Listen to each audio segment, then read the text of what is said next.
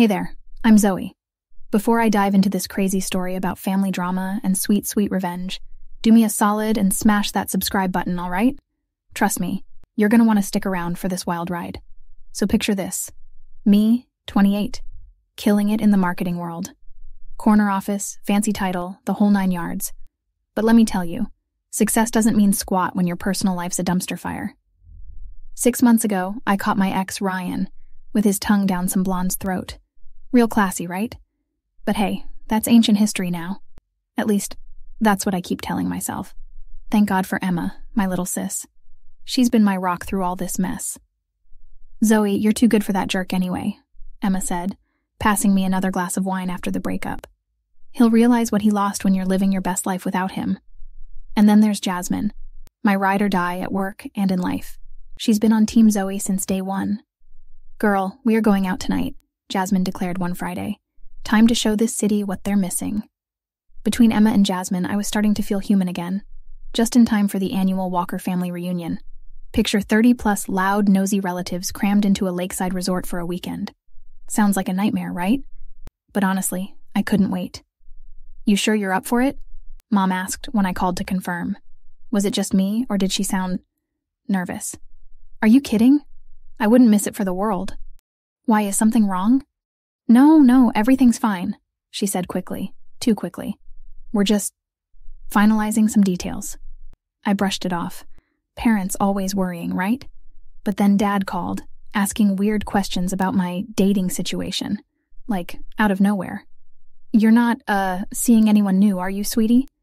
Dad, you know I'm not. What's this about? Oh, nothing, nothing. Just curious. See you at the reunion? Okay, something was definitely up. But hey, maybe they were trying to set me up with someone. Wouldn't put it past them. Finally, reunion weekend rolled around. I packed my bags, feeling lighter than I had in months. A weekend away from the city, surrounded by family, no cell service to tempt me into drunk texting Ryan. Perfect. As I pulled up to the resort, I couldn't help but smile. The lake was gorgeous, sparkling in the afternoon sun. I could smell someone grilling burgers, hear kids laughing. This was exactly what I needed. I grabbed my bags and headed for the main lodge, ready to kick off the weekend. Little did I know, I was walking straight into an ambush. So there I was, feeling all warm and fuzzy, hugging aunts and uncles I hadn't seen in ages. Cousin Billy was showing off his new tattoo. Aunt Marge was already three mimosas deep, typical Walker family chaos. That's when I saw him. Ryan standing there, chatting with my parents like he belonged. What the actual fuck? I muttered, frozen in place. Ryan spotted me, flashing that stupid grin. Zoe, there you are. I stormed over to my parents, blood boiling. Mom, Dad, what is he doing here? They exchanged guilty looks. Dad cleared his throat. Now, Zoe, don't make a scene. We thought it would be nice to invite Ryan. He's practically family. Practically family? He cheated on me, how could you do this? Mom patted my arm. Sweetie, everyone deserves a second chance. Besides, Ryan's been so helpful, offering to sponsor the reunion this year. My jaw dropped. Sponsor? What are you talking about? That's when they dropped the real bomb. Well, with the resort being so expensive, Ryan offered to chip in. He's even sharing our room to cut costs. I felt like I was in the twilight zone. You're sharing a room with my cheating ex? Have you lost your minds? I bolted, needing to find Emma and Jasmine ASAP. Thank God they were both here. You guys are not going to believe this shit, I said, pulling them aside. Jasmine's eyes widened as I spilled the tea. Oh, hell no. They did not invite that snake. Emma looked ready to throw hands. Want me to push him in the lake? Because I will. As we were plotting Ryan's demise, I overheard him talking to Uncle Bob. Investment opportunity of a lifetime.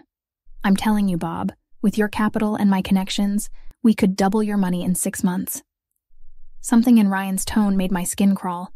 It was the same smooth talking BS he'd used on me. I turned to Emma and Jasmine. You hear that? He's up to something. I bet he's scamming the whole family. Jasmine nodded. Wouldn't put it past him. Remember how he always talked about get rich quick schemes? Emma cracked her knuckles.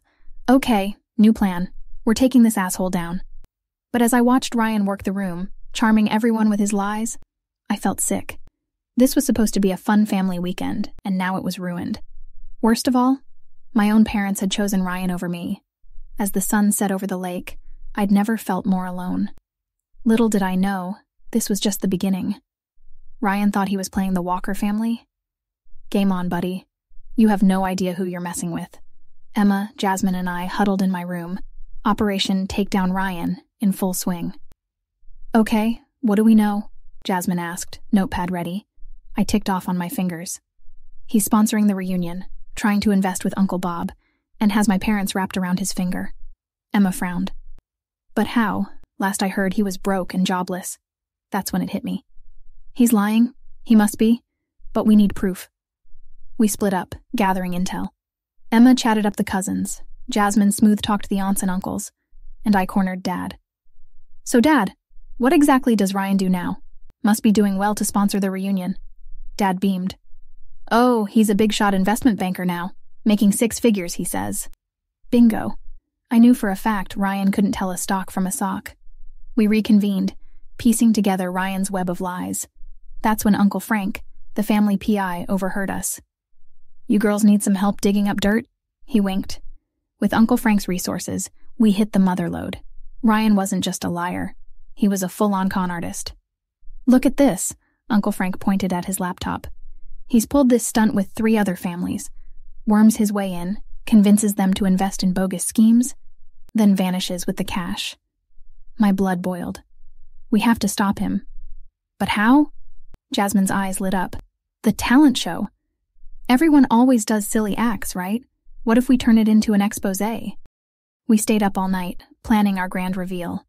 By morning, we had a killer presentation ready. But first, I needed to confront Ryan. Catch him off guard, see if he'd slip up. I cornered him by the lake. I know what you're up to, Ryan. The lies, the scams, all of it. He didn't even flinch. Aw, Zoe. Still bitter about our breakup? I thought we were past that. Cut the crap. I've got proof. You're going down. Ryan's eyes hardened. Proof? Please. It's your word against mine.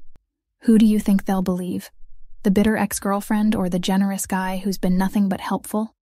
He leaned in, voice low. Be smart, Zoe. Keep your mouth shut, and maybe I'll cut you in on the profits. I wanted to deck him right there, but I held back. The talent show was in an hour. Soon, everyone would know the truth. As Ryan sauntered away, confident he'd won, I couldn't help but smile. He had no idea what was coming. Payback was going to be a bitch, and her name was Zoe. The talent show kicked off with the usual Walker family chaos Aunt Marge's tone deaf karaoke, Cousin Billy's awful magic tricks. Then it was my turn. For my talent, I'd like to share a little story, I said, queuing up the slideshow. It's about trust, family, and the dangers of investment fraud. Ryan's head snapped up, eyes narrowing. The presentation started innocently enough family photos, cheesy quotes about trust. Then, bam, a shot of Ryan with another family, same slick smile. This is the Johnson family. They lost their life savings to a charming investment banker. Sound familiar? Murmurs rippled through the crowd. Ryan stood up, all fake concern. Zoe, what are you doing? This is inappropriate. I cut him off.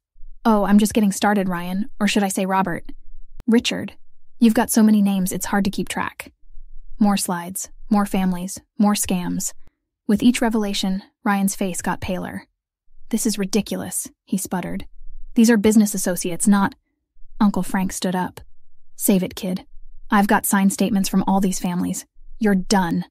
Mom and Dad looked shell shocked. Zoe, is this true? Mom asked. I nodded. I'm sorry, but Ryan's been playing us all. The room erupted. Ryan made a break for the door, but guess who was waiting outside? The Johnsons, the Smiths, and every other family he'd screwed over. Going somewhere, Ryan, Mr. Johnson growled.